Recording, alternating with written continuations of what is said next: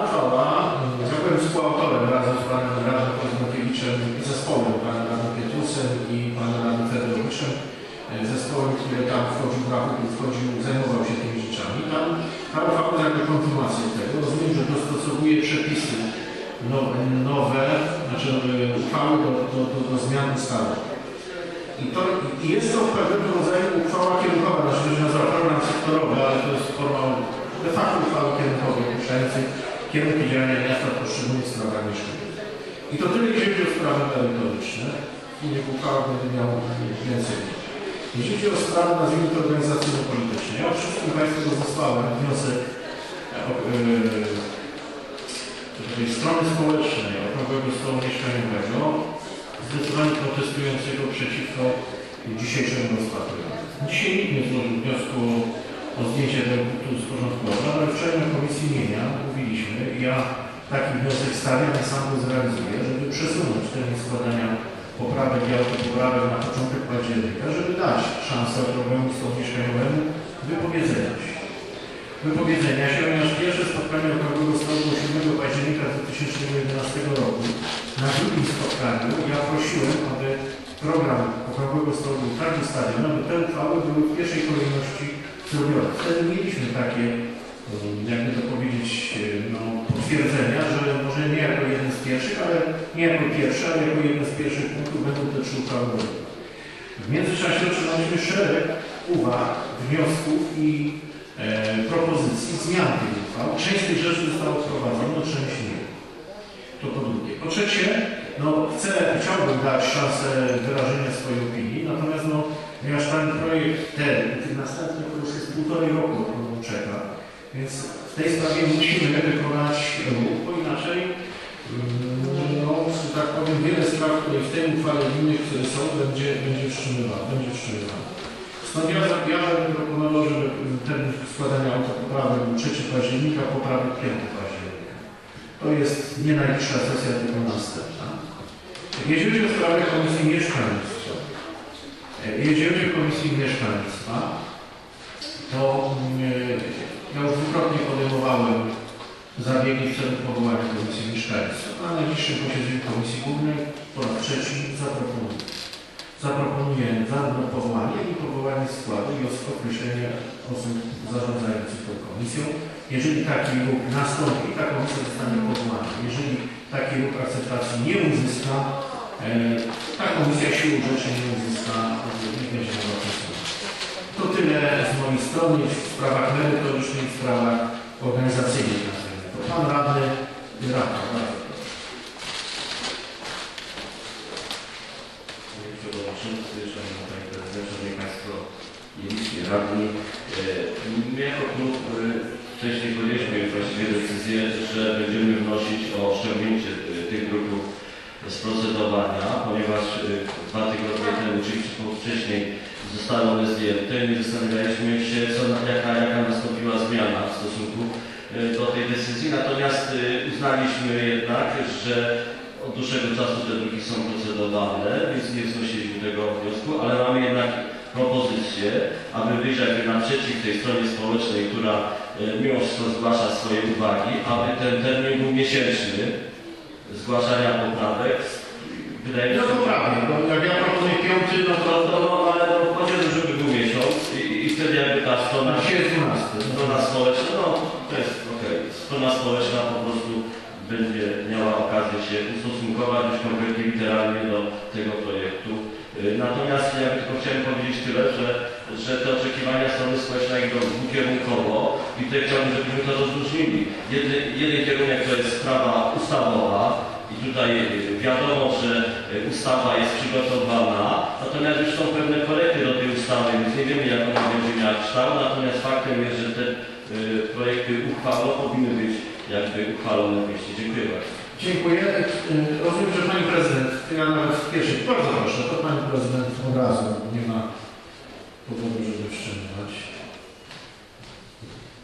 Szanowni Państwo, Szanowny Panie Przewodniczący, ja jestem zdziwiona tym, że Państwo obawiają się, że należy poczekać jeszcze z procedowaniem tego dokumentu na opinię strony społecznej. Może Państwu wyjaśnienie, jak powstał ten dokument. Kiedy włączyłam się w pracę okrągłego stołu, ten dokument wstępnie przygotowywany, już konsultowano go od wielu, wielu miesięcy. Biorąc pod uwagę wagę tego dokumentu, między innymi konieczność załatwienia przy, w związku ze zmianami uchwały spraw wielu y, mieszkańców naszego miasta, w tym uczestników okrągłego stołu, ym, poprosiłam o bardzo takie zdynamizowanie prac uczestników okrągłego stołu nad, nad konsultowaniem tego dokumentu. Odbyło się, odbyły się dwie konsultacje u mnie w gabinecie y, nad, nad tymi dokumentami. Zresztą niestety chwilę czoła przed tymi aktywnymi uczestnikami, profesjonalistami, naprawdę prawnikami, y, którzy są uczestnikami okrągłego stołu, którzy bardzo profesjonalnie konsultowali tę uchwałę, zresztą tak wielu miejscach są jej współautorami. Wydział Mieszkańca dołożył ogromnych starań, żeby właśnie te, te spotkania konsumować konkretnymi zapisami.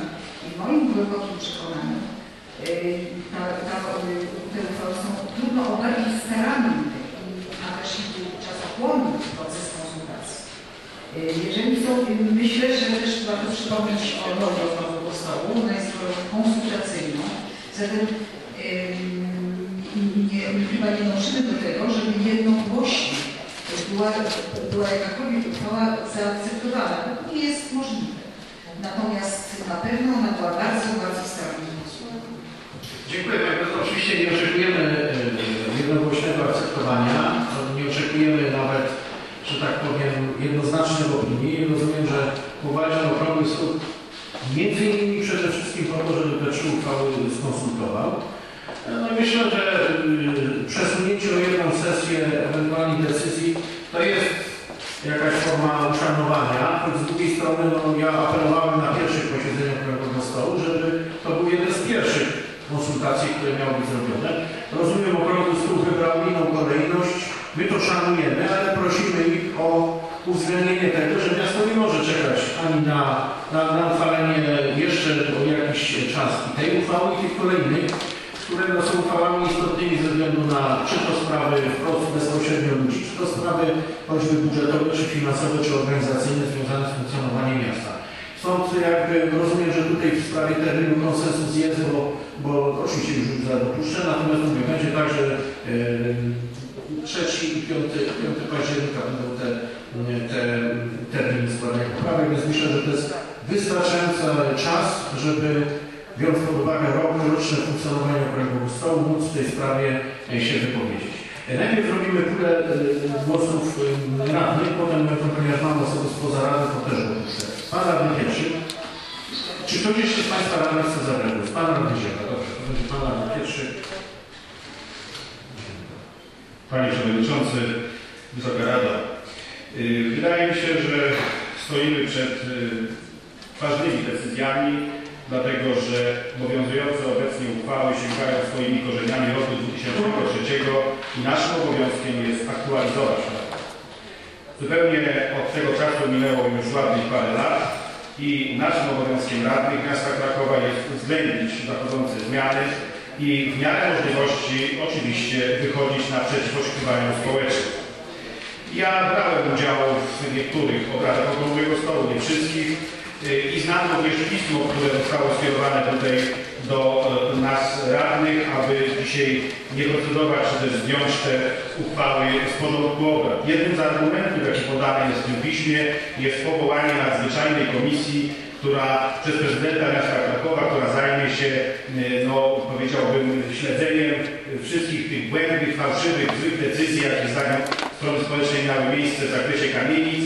Y, No i ja przyznam szczerze, że jako podstawowego wykształcenia, no nie widzę takiej możliwości, aby pan prezydent mógł powołać komisję, która będzie rozliczała notariuszy, sędziów, policjantów, no bo to nie jest po prostu w jego kompetencji. Więc ten argument jako podawany na odroczenie, że tak powiem, sprawy i jako warunek dalszego procedowania, no jest po prostu nie na miejscu. Natomiast y, biorąc pod uwagę merytoryczne kwestie, mnie się wydaje, że to jest najważniejsze i tu rzeczywiście z tego, co nie wiadomo, a rozmawiałem, brałem udział w pracach zespołu, rozmawiałem z kierownictwem Wydziału Mieszkalnictwa, zostały przekazane określone sugestie ze strony właśnie y, okrągłego stołu, strony społecznej i zostały uwzględnione. Na przykład nowa grupa osób uprawnionych, czyli chodzi o osoby, które No też przy zasadach wynajmu, Panie radny, akurat. no tak, no tak, no rzeczywiście, w takim razie ja sądzę, że powinniśmy w ogóle skumulować chyba dyskusję tutaj tymi trzema uchwałami, bo teraz będziemy to się tak rozdradzać. Ale generalnie stwierdzam, że część tych postulatów została uwzględniona. Yy, Proszę Państwa, yy, podawanie, że znowuż będzie yy, okrągły stół najbliższy poniedziałek, ja się wybiorę na ten okrągły stół, bo jestem śmiało, mogę spojrzeć tym ludziom w oczy i nie mam nic do ukrycia, znowuż będzie poświęcona kamienicom. No proszę Państwa, naprawdę radni samorządu krakowskiego nie mają żadnego wpływu na kształt ustaw bezpośredniego. Oczywiście my możemy przez swoich posłów do innych ugrupowaniach politycznych, ale przyjazny tak akurat jest tą grupą, która nie posiada jakiegoś partyjnego zaplecza, więc dlatego my jako samorządowcy nie możemy wpływać bezpośrednio na kształt ustaw.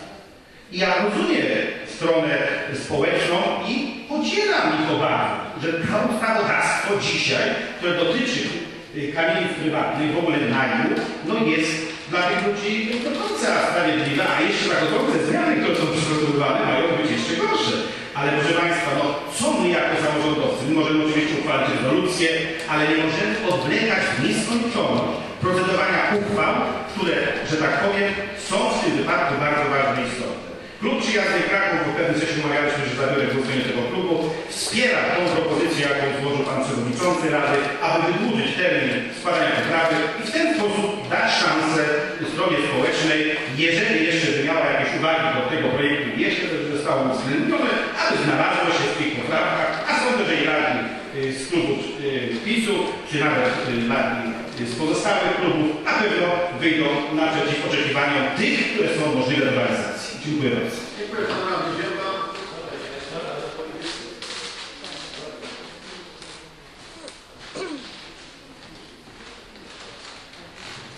Panie Przewodniczący, Panie Prezydent, Szanowni Państwo, no szkoda, że nas tak niewiele. E, no cóż, e, proszę Państwa, e, ja myślę, że Panie Przewodniczący, żeby jednak omawiać wszystkie e, druki. No Oczywiście nie, ale musimy obowiązek uchwała o uwagę. każde, każdego druku, aby mm, ewentualnie procedować o, e, e, wyznaczyć em, termin. Ale może do rzeczy. Po pierwsze, jest konieczna Komisja Mieszkalnictwa. E, To jest taka sprawa, że e, podzielono zadania na e, dwie e, komisje.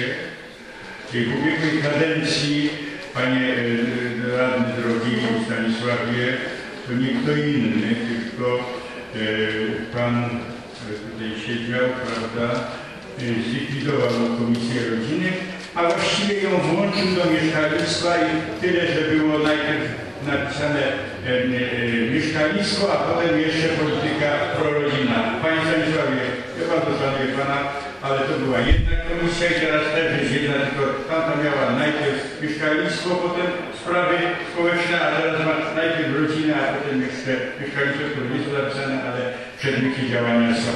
Proszę Państwa, nie da się tych dwóch ogromnych spraw e, łączyć dalej, ale jeszcze mam apel do wszystkich tą ponadpolityczną sprawą wziąć udział i stworzyć Komisję Mieszkalnictwa. To jest mój apel, e, ponieważ nie jesteśmy w stanie tych wszystkich spraw Komisji Rodziny i Polityki Społecznej rzetelnie i wszystkiego omówić. E, Jeżeli chodzi o te e, trzy uchwały, przede wszystkim ta pierwsza, mają na celu pomoc mieszkaniową. Bo tak ustawa mówi, e, e, jeżeli mm, samorząd ma przyznawać, przydzielać, przepraszam, przydzielać, to jest to wszystko pomoc mieszkaniowa. I my musimy się w tym wszystkim zastanowić, komu ta pomoc jest w pierwszej kolejności potrzebna, i jaka ma być polityka, jak mają być przydzielane lokale. Yy, Uchwały mieszkaniowe no, muszą być w tym roku yy, podjęte, natomiast no, przed chwilą mieliśmy informacje na temat yy, realiów, niestety smutną informację, a więc to musimy tak gospodarować środkami, żeby tej substancji mieszkaniowej nie, yy, nie zaniedbać dokumentnie, ale jednak nie, nie może to być coś takiego, jak całym szacunkiem proponuje strona społeczna podniesienie progów dochodowych, czyli zwiększenia yy, tego, co jest, yy, co dzisiaj jest za mało. No, co to oznacza? No, oznacza to większą liczbę starających się o mieszkania, a dzisiaj, nie wiem dokładnie, ale pani dyrektor pewnie powie, jest przynajmniej 3000 oczekujących, no to się zwiększy. No więc wszyscy weźmie odpowiedzialność, bo to nie są przelewki. Dziękuję bardzo. Dziękuję bardzo. Czy ktoś z Państwa radnych chce jeszcze zabrać głos? Pan radny.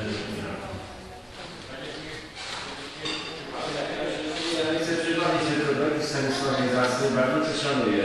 Ja z tej mównicy parokrotnie mówiłem, że Komisja Mieszkalnictwa powinna istnieć, a Państwo zadecydowali, że została zlikwidowana na początku tej kadencji. Proszę nie sięgać do poprzedniej, bo ona jest historyczna. Zobaczymy, jak się zachowają zgłaszający się na komisję urzędy, kiedy będziemy proponowali powołanie i skład tej komisji. Bardzo proszę. E, Proszę Państwa, to tyle myślę, jeśli chodzi o dyskusję. Teraz do głosu zgłosiły się dwie osoby jeszcze. E, Poproszę Panią An- Alicję Sarzyńską jako Panią Alicję Sarzyńską, przedstawicielę Polskiego, Polskiego Zrzeszenia Lokalnego. Bardzo proszę.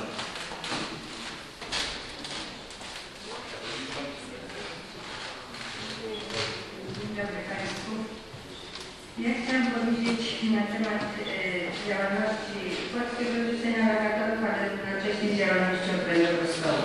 Proszę Państwa, e, tutaj się licytujecie, jeśli chodzi o Komisję Mieszkaniową. Pierwszą rzeczą, jaką Polskie Zrzeszenie Lokatorów zrobiło po otrzymaniu informacji, że została zlikwidowana Komisja Mieszkalnictwa, to złożyło do Rady Miasta protest. Protest był od razu złożony i uważaliśmy, że to jest bardzo błędna decyzja, dlatego że ta komisja, akurat ta komisja jest prawie najważniejsza, jeśli chodzi o y, działalność Rady Miasta. Teraz druga sprawa, odnośnie tych uchwał. Uchwały są, powiedzmy sobie, no, w miarę y, idą na, naprzeciw y, społeczności. Jest kilka uwag, które uważam, że powinno się y, poprawić, dlatego też cieszę się, że będzie termin do składania poprawek, bo te poprawki złożymy. Naturalnie chodzi mi o to, czy jeżeli Państwo byście byli łaskawi powiedzieć czy ten wstrzymanie tych uchwał do tej chwili wstrzyma również y, środki y, do budżetu, jeśli chodzi o budownictwo komunalne. Bo to jest w tej chwili najważniejsza sprawa. Dla nas jest najważniejsza, dla lokatorów jako y, społeczności krakowskiej najważniejsze jest uruchomienie budownictwa komunalnego. I to nie tak, żeby był jeden czy dwa bu- budynki przez cały rok, tylko żeby było normalny program budownictwa komunalnego. Dlatego, że nie wypełnimy z tej sytuacji, która istnieje w tej chwili, jeżeli budownictwa nie będzie. Proszę Państwa, nie jest możliwe, żeby gmina płaciła ciężkie odszkodowania właścicielom za lokatorów, którzy są, mają e, wyroki sądowe eksmisyjne, bo za te pieniądze, które gmina daje właścicielom w prezencie, mogłaby spokojnie wybudować kilka bloków i tych ludzi, którzy mają te wyroki eksmisyjne w kieszeni, mogłaby tam właśnie umieścić. I dlatego to jest naprawdę bardzo ważna sprawa. Naturalnie jest e, różnica, bo ja tak przypuszczam, że Państwo nie bardzo rozumiecie, e, jaka jest e, różnica między lokatorami w zasobach prywatnych, a lokatorami w zasobach komunalnych. Ale tutaj trudno robić wykład na ten temat. Jeśli chodzi o zasoby komunalne, no to będziemy próbowali sobie jakoś pomóc wspólnie. Natomiast jeśli chodzi o zasoby prywatne, proszę Państwa, nie możemy występować przeciwko właścicielom wbrew prawu. Musimy najpierw uchwalić ustawę, to znaczy musimy opracować ustawę taką, która by dawała możliwość bezpiecznego zamieszkiwania w zasobach y, w mieszkaniach zarówno lokatorom, jak i bezpieczeństwo właścicielom. Dlatego też y, wniosek naszego Polskiego Zrzeszenia Lokatorów jest taki, ponieważ mieliśmy do zaopiniowania tą y, nową ustawę, którą nam przysłało ministerstwo, uważamy, że ta ustawa jest y, zupełnie nie, powiedzmy sobie, jeszcze gorsza niż wszystkie poprzednie. W związku z tym napisaliśmy wyraźnie opinię dotyczącą tego, że nie opiniujemy jej, natomiast prosimy o zlikwidowanie w tytule sp- sprawy ustawa o ochronie praw lokatorów. Dlatego, że ona nie chroni lokatorów, proszę Państwa, i ona nie ma nic wspólnego z ochroną lokatorów. Jeżeli byście Państwo się zapoznali z y, ustawodawstwem y, europejskim, to zobaczylibyście, jak wygląda sytuacja ochrony lokatorów. Nasza ustawa w ogóle nie chroni lokatorów, wprowadza jakieś niepotrzebne nieporozumienia. I dlatego też moja propozycja jest taka, żebyśmy na razie te, te wszystkie sprawy, które są możliwe do zatwierdzenia, zatwierdzili, natomiast żebyśmy powołali zespół, który ja się zobowiązuję, że powołamy, do zrobienia y, y, projektu ustawy o ochronie praw lokatorów. I to będzie y, projekt obywatelski, tylko naturalnie wszyscy się będziemy musieli zmobilizować, żeby zebrać podpisy. Natomiast ta ustawa, którą proponuje ministerstwo, niech to będzie ustawa mieszkaniowa i niech ona działa w normalnym sensie mieszkaniowym, takim jak, jak ministerstwo produkcji. Dziękuję Prezes. Bardzo proszę do głosu także dopuszczam pana Grzegorza Kiebreka. Bardzo proszę. Potem jeszcze ja się zapisałem, żeby wyjaśnić pewne sprawy, o których pani Alicja mówi. Bardzo proszę, pan. Tak. Dzień dobry Państwu. Moje nazwisko Grzegorz Piotrek. Ja reprezentuję 25 organizacji E, jestem odpowiedzialny za stronę społeczną przy okrągłym stole mieszkaniowym. Proszę Państwa, e, od roku ciężko pracujemy. I proszę Państwa, ja rozumiem, że Państwo macie mało, mało macie wiadomości, no bo, bo poza nielicznymi wyjątkami nikt z rady nie przychodzi na zebrania dotyczące e, e jak około. Nie mieliśmy wnioski. Pan Rafał, pan e, Procedura, pan Zanna Nagrodzka, a tak to nam przyszło, pan Janusz przyszła na chwilę, tutaj pan Pieczyn na chwilę, no ale pan Pieczyn mówi nieprawdę, bo myśmy o żadną komisję nie występowali. W ogóle pan... Przepraszam bardzo, nie,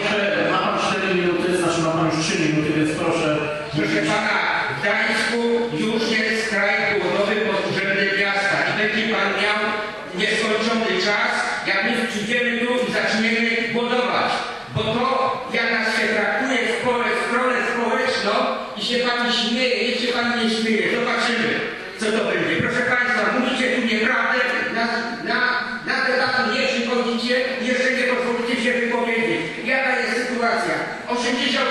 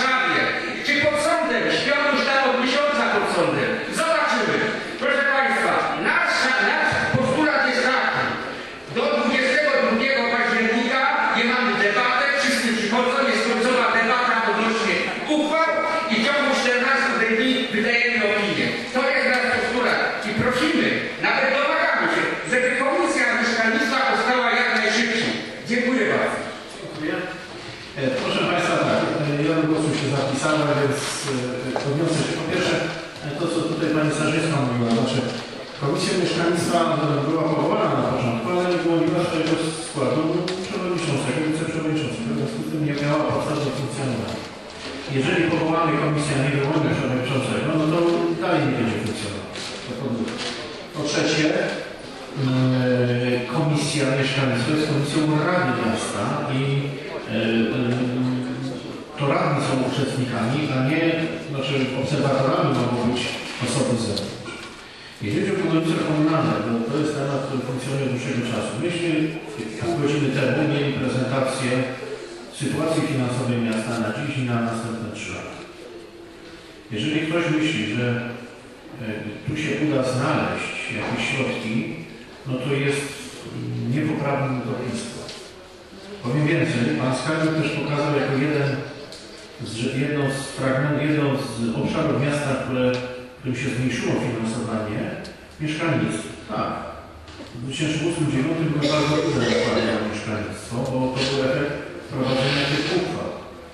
Przypomnę, że w pewnym momencie prawie ponad 30 milionów złotych inwestowaliśmy w. W tej chwili nie mamy już tych, tych nadwyżek. Nie mamy szans na finansowanie, nie tylko ze względu na ogólną sytuację, ale także ze względu na bilans dochodów i wydatków e, obszaru mieszkaniowego.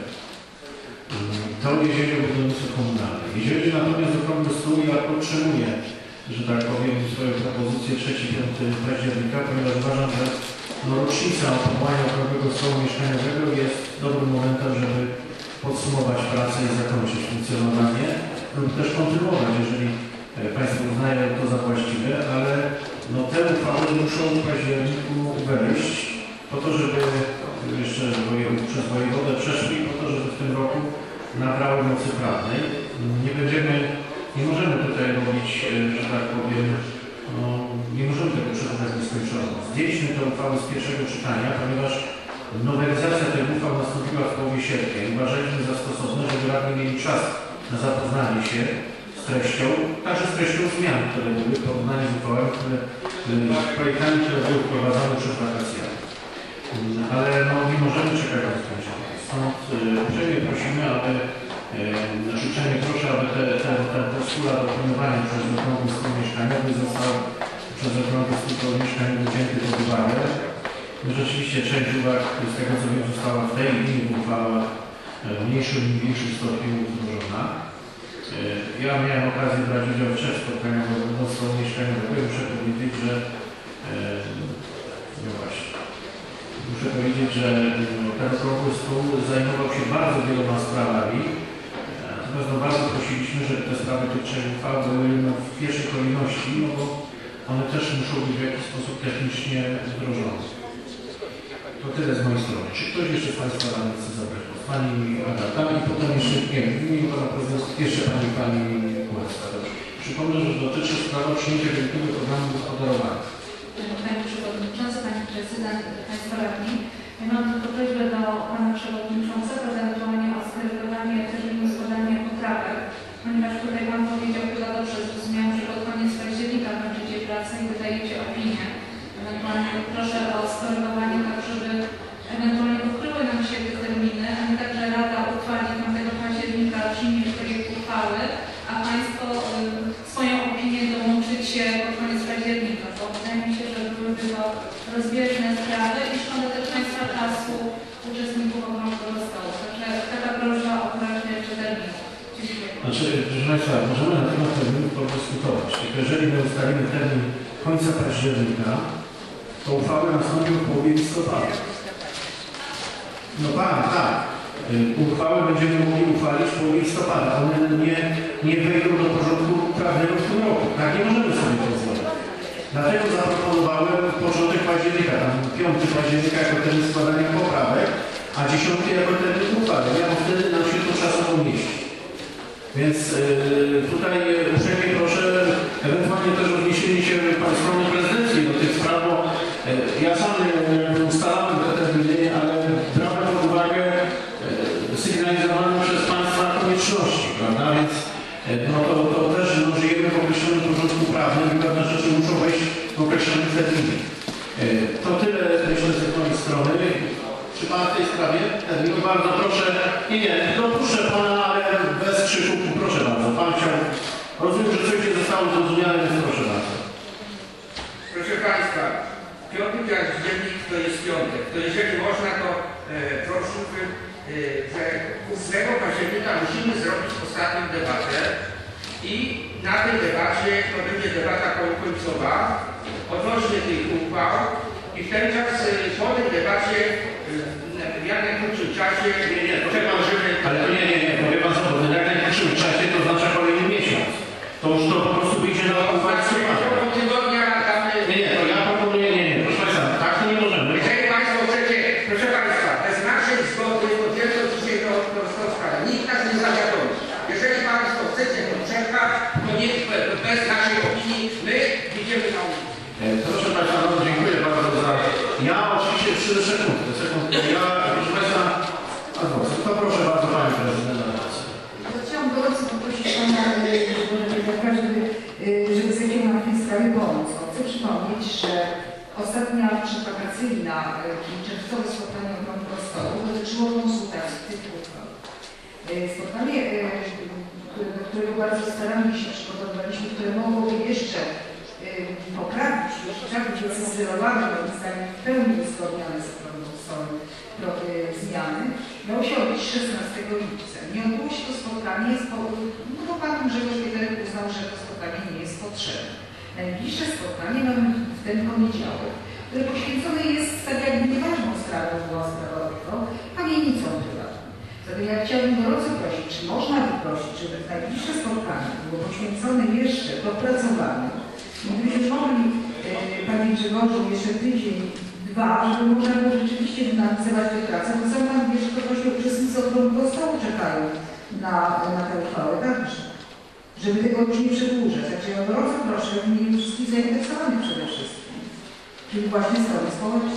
Znaczy, proszę Państwa, e, od dzisiejszej sesji, sekundkę, Panie, Panie Radniejszu, już dopuszczę. E, od dzisiejszej sesji okrągły stół może się zebrać 17, 24 i 1 października. To są trzy spotkania, które, tak, tak, nawet mówię, 17, 24 i 1 października. To są trzy możliwe terminy spotkań, e, które mieszczą się w terminie, który ja wstępnie zakreśliłem. E, e, I uważam, że, że tak powiem, no, dajemy miesiąc czasu na, na, na, na, przygotowanie. To, to jest naprawdę dużo i, i, i bo jeżeli Państwo macie tam któregoś 8 i potem miesiąc, no to, no to tak naprawdę jesteśmy w listopadzie. Jeżeli w listopadzie, to my tych uchwał, uchwały nie wyjdą do biegu prawnego e, w tym roku. Będziemy mieli, no, znaczy ja uważam, że to nie jest dobre, dlatego sugeruję, żeby uwzględnić ten termin, bo przesuwanie na 24 nam robi to na styk.